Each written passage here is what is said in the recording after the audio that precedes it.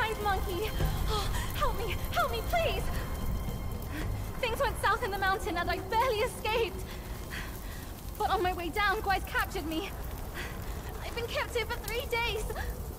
But now my luck has returned. My savior appeared here right in front of me.